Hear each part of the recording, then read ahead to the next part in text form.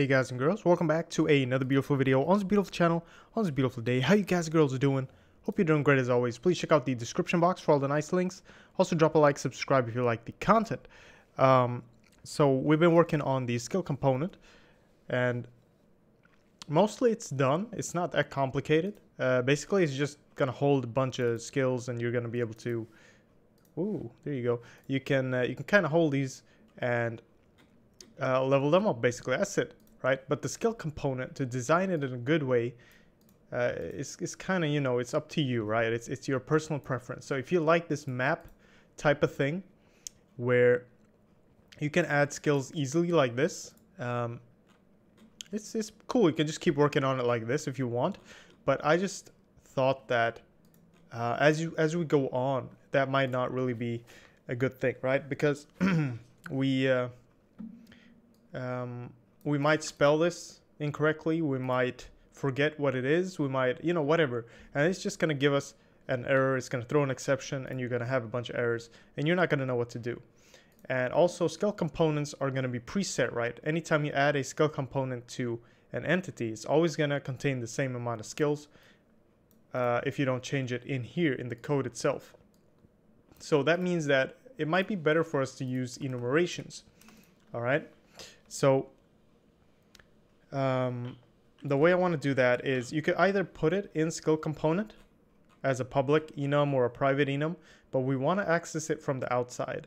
So I'm just going to put it globally here in the file. So enum um, skills. All right, skills.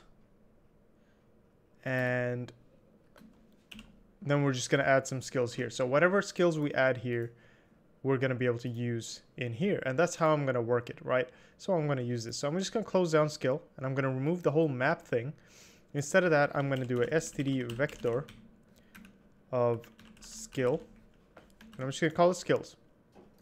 Okay. Uh, I'll just have my enum as a large name right there. And call it, call the first one, what did we call it? We call it health.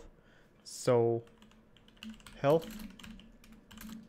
And then we'll just leave it at that for now, you know, we'll just keep it at that, like this.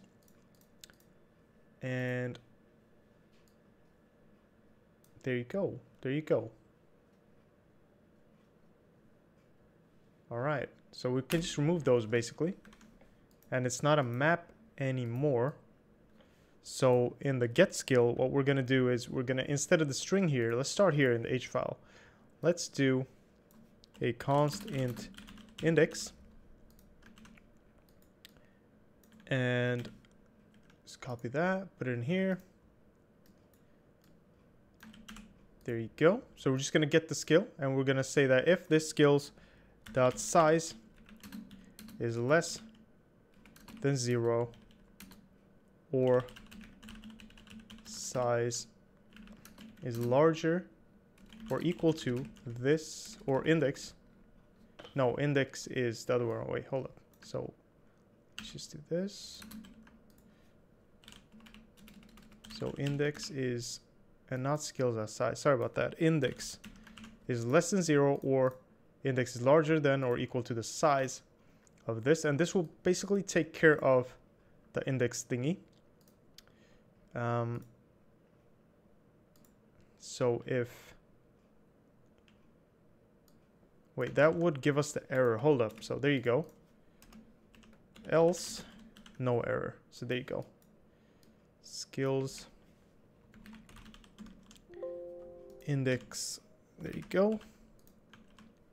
At level. Index. So there you go. That's a good get skill function. We're just going to make sure it's not empty and everything. Um, uh, if So we're just going to check it for empty as well. All right, because it could be empty, right? So just, just a good check to do. And then we'll just get the level out of that. And to add these, we could just do this skills dot pushback skill. An empty skill like that. I'm guessing. Let's see, what kind of constructor do we have in here? Just an empty skill constructor. And that's nice, that's nice. What we could do actually here is we could keep an integer um, skill type. Okay. And we can cross check this with the enumerations to make sure it's the same skill. So we'll kind of keep track of itself. You don't have to do this, but uh, you could. It's a good way to kind of see what you're adding. Right? And then we'll just do a const int type. Or just an int type, doesn't matter. Like this. All right, and then we can just go ahead and add an inline const int and get type const return this type. Easy. So then we can check the type on the go if we want to do that. Um, good thing to do. Now when we add it we need to do this health. So we add the skill health right? Um, and we got all of those here. Now one thing that you guys probably got to do is do that. Um, some of you on code blocks and Linux probably can't directly access the enumeration. Might You might be able to do it in this file, but not outside. So just if you get errors, just make sure you do this. Uh, write the full enumeration name and everything. So once you do that, we're just going to add a bunch of skills in here. So health is, you know, health is kind of whatever. Um, just keep it like that. Health. Maybe attack. Um, let's see, accuracy. Probably, something like that. We can just add a few skills. I'll look into it. I'll add some more later on. We don't spend a lot of time on that. But just, just as an example, what we can add, right? So, attack would be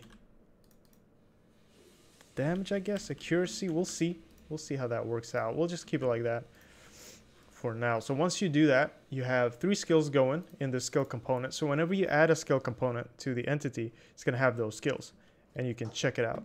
Uh, for example, if we go to entity, entities, player, and we're probably going to have to change how we create it as well. Create skill component.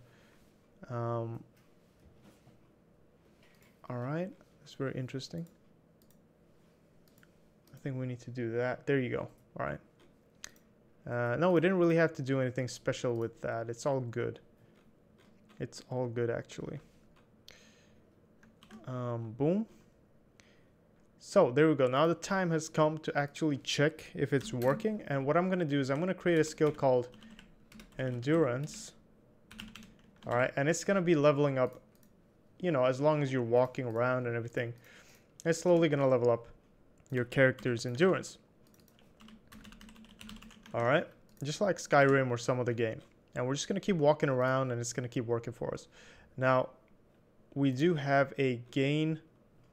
We don't have a gain EXP yet, but we do have that in skill.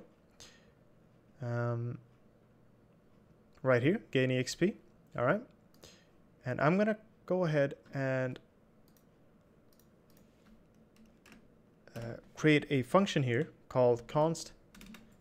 Let's start off in the H file actually. Uh, hold up. Is this for skill? Yeah, this was for skill. Sorry, there we go. All right. Const void gain exp const int skill Actually, I'll name the skill instead because it makes a lot more sense. And then not a const because we're actually going to be changing stuff. Now, let's define this. There you go. Now we can actually change it up. So I'm going to change the name here as well to skill. Um, and just change that everywhere where it's required. Like that. Okay. Now, let's get back to this. Now, I want to gain EXP in one of the skills. And each time I do that, uh, I'm probably going to have to use this if statement as well. We're going to have to check if the skill exists and we're not out of the bounds. Uh, skill does not exist. Skill component, and we got to give it the function as well. Gain EXP. Get skill. All right. Let's see. Okay, so else, we don't need a return here. We just need to do something. So in this else statement, we're going to go ahead and do everything that's important. And uh, to gain EXP, all I have to do is this, skills, skill, gain EXP, and I'm going to gain a certain amount of EXP. And it's a const int, right? So const int EXP here as well. And I'm just going to put that in there. And I get to choose how much EXP I want to gain, right? You don't have to do that in your own skill component.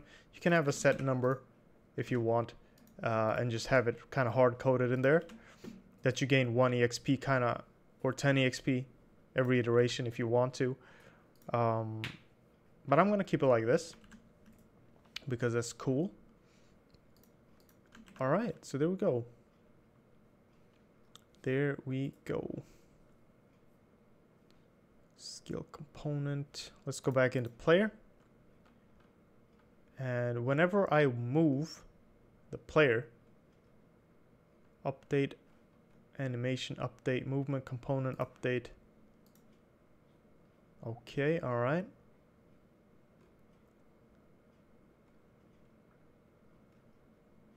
Okay, that's interesting. So we don't really have a update movement here. No, we just gotta check this out. Create movement component. Okay, move.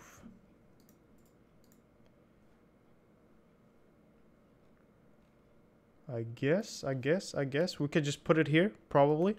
If this move, no, if this skill component, this skill component, gain EXP, uh, skills, endurance, just give it one EXP, all right? And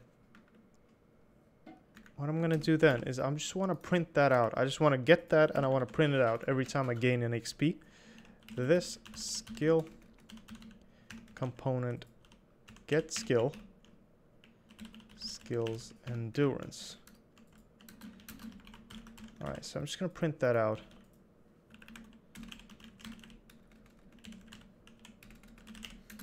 Like that. And that is each time I move I'm just going to go ahead and look at that. I'm going to move these um, functions up into player. I'm probably, you know, I'm, I'm, pretty sure that's the best way to go about things because they, they, they use all the components. It's better to keep it there. Um, but you can keep it in entity if you want. So anytime I move, okay. So yeah, I'm kind of leveling up pretty quick. I'm just walking around. So it is working. Obviously the EXP is growing as well. And we're not having any problems really. Alright, so everything seems to be working. Now that's a lot of EXP to gain. I'm going to make a little timer. Um, so that we don't kind of gain EXP every iteration, right? It's, it's got to be some time between like maybe a few seconds in between every gain of exp right so probably we could just make a little timer using the the clock or something that's a good tutorial as well uh, for the clock functions and and we should be good but we'll probably do that in the next one all right for now this is cool. Just keep it like this play around with it. I might just keep this here um, to test around with it later. But there you go guys and girls. Please check out the description box all that stuff. Also thank you so much for watching. Take care, and I'll see you guys and girls in the next one, alright? Bye-bye.